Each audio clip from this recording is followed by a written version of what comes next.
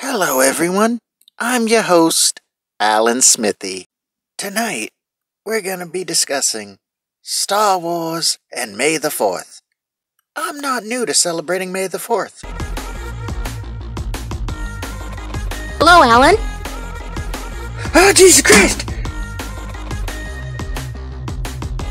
Kathleen Kennedy, what are you doing in my toilet bowl? You know what, Kathleen? I got something for you, for me and all the other Star Wars fans. Get my tail out of the way. Okay, there we go. Ah, come on. Ah, No, Alan, don't! Please! Oh, yeah. Ugh! So warm. Goodbye, Kathleen.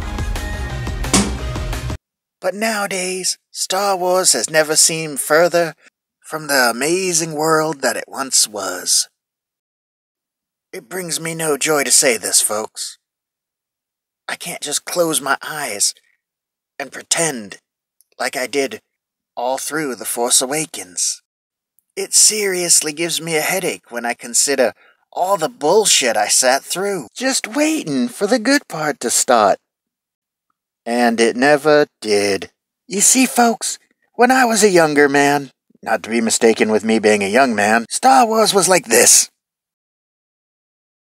It was great, but once Disney got the hands on the IP, it was like this.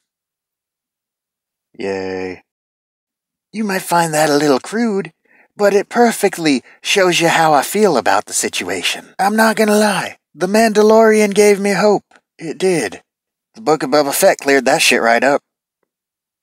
Some of you might think I'm just being too hard on Disney, but just like my example earlier, it just isn't hard enough.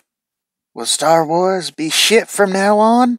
God, I hope not. Hopefully, Disney will get off its ass trying to tell people how to raise their kids and just make good entertainment once again.